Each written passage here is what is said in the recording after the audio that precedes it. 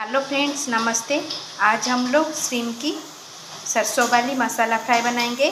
इसके लिए मैंने श्रीम को अच्छी तरह से धोकर इसमें नमक, हल्दी डाल लिया है और ले, मसाले के लिए ले लिया है थोड़ी सी सरसों और जीरा, दो सूखी लाल मिर्च, एक प्याज, एक लहसुन, लाल मिर्च पाउडर, हल्दी पाउडर, नमक और सरसों तेल।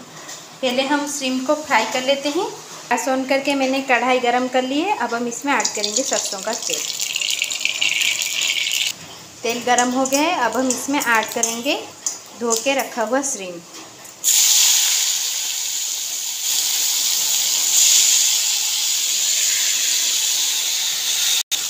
चला लेंगे इसको। इसको लाल होने तक हम फ्राई कर लेंगे।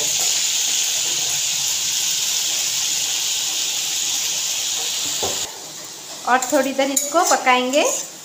लाल लाल हो जाने देंगे।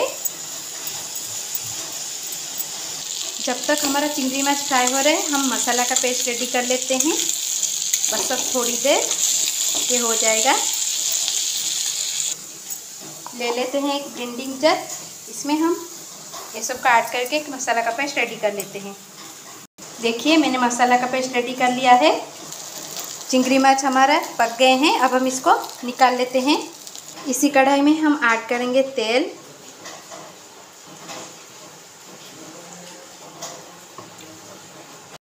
थोड़ी सी चीनी।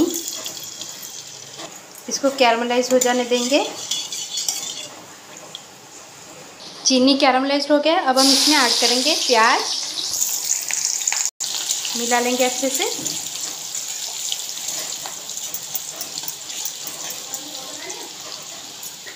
इसमें हम ऐड करेंगे सरसों का पेस्ट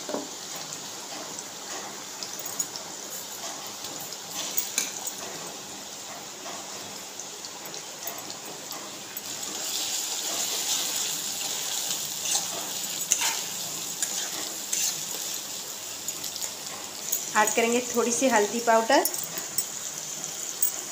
थोड़ी सी लाल मिर्च पाउडर तीखा आप अपने अनुसार कर सकते हैं। और थोड़ी सी नमक। इन सबको अच्छी तरह से मिला लेंगे।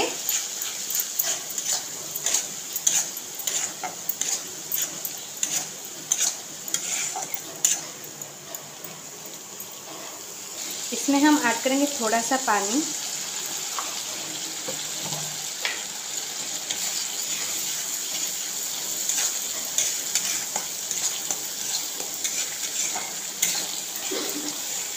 अब हम इसमें ऐड करेंगे चिंगरी माछ मिला लेंगे इसको अच्छी तरीके से।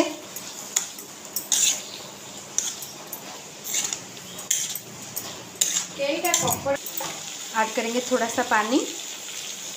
सूखी हुई आम की एक टुकड़ा डालेंगे। और इसको मिला लेंगे अच्छी तरीके से।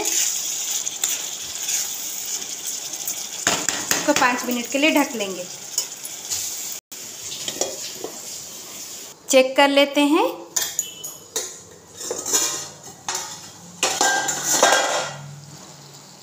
देखिए, हमारी चिंगरी माछ की सरसों वाली सब्ज़ी रेडी है। अब हम इसको बंद कर लेते हैं। प्लेटिंग कर लेते हैं।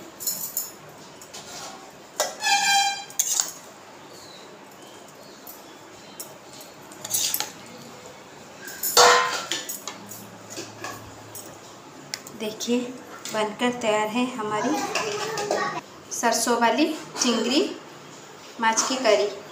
ऐसे ही सुंदर सुंदर रेसिपी के लिए प्लीज़ प्लीज़ लाइक करें सब्सक्राइब करें हरे कृष्णा चैनल को।